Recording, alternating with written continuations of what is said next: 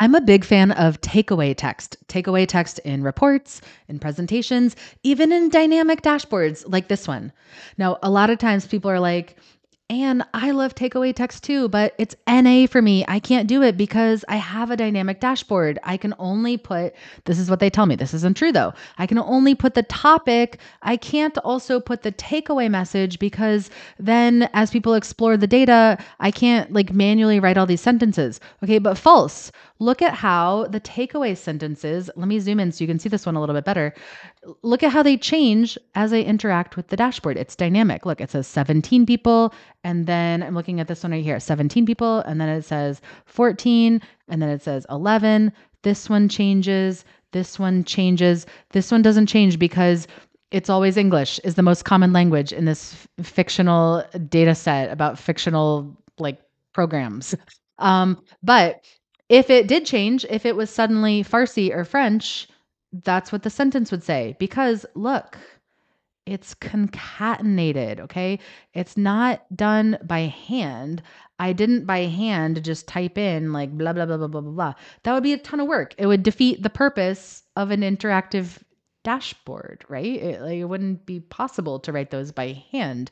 So this is what this video is about. I'm going to show you behind the scenes how you need these two things. Okay. You need concatenation and you need helper cells. Concatenation and helper cells. I'm going to show you the concatenation first, and then I'll show you the helper cells in a moment. Concatenation is a formula. Okay. I'm just going to type this one right here so you can see it. It's a formula. So you start with equals. You say equals the helper cell you would have already set up. That's over here. I'll show you this in a moment. Stay tuned. Okay equals the helper cell and double quotes, sentence structure, double quotes. Okay. Helper cell, where you already have English selected, and double quotes, sentence structure, double quotes. English is the most common language at this site. Double quotes. Press enter, and your sentence structure is written for you. Okay. Let me show you this one. Okay. Uh, let me move this one down, make a little bit of space. It would be equals helper cell. Where do I have my helper cell? It would be under the, let's see how well I labeled this. Okay, under the months in program section with the pivot tables. Here's a helper table, and I'm going to pick this helper cell. Okay, equals helper cell, and that's concatenation. It joins things from different cells together. And quotes, sentence structure quotes. What did I want this one to say? 14 people, double quotes, space people have blah, blah, blah, blah, blah, blah. Period, double quotes.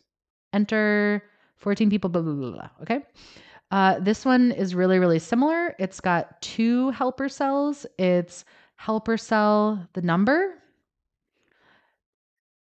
and double quotes, people at this site up to there, open parentheses. When you have parentheses in your sentences, it gets a little tricky too because some of your formulas are going to have parentheses. And here's the other helper cell with the percentage that I had to round.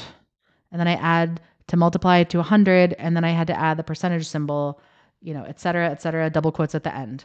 What did I have in this one? Participants live in and helper cell. So you have to think about what should the sentence say? And in your real life project, it's going to be different than these, obviously. Ideas for you. It would be things like calling out the most or the least, the poles. That makes interesting data stories. It could be um, here's a pole that's the most. It could be a big slice, a little slice, something you think your audience might be interested in. Here's another idea of showing the most, like nine people are from Montana in this site, whichever site is selected here. Okay. That's concatenation. Concatenation, right? You're adding helper cells and some sentence structure. It's joined by the ampersand. The second thing you need is you, you need the helper cell, right? So it's over here, and I'll show you. I don't know which one should I show you behind the scenes of. Maybe this one, the language one. So right here, I've got a pivot table of the languages.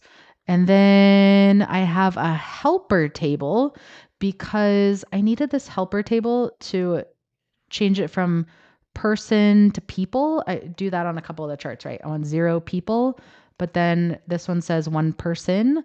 So a lot of times I'll do cells like this so I can have the actual number, but then the graph label right next door. I figured out how many languages there were. I did a, ma- a simple max formula. You've seen that one before, right? What is the what is the most? What's the category with the most? And then I did a X lookup to say if it's 21 is the most, what language does that correspond to? It's English. Okay. Let me know which of this, these techniques you'd like more info about. Do you want to hear more about helper tables, about graph labels that are dynamic, about person versus people, X lookup, max formula? I don't know. You tell me. You tell me, and I'll get through as many of your questions as I possibly can.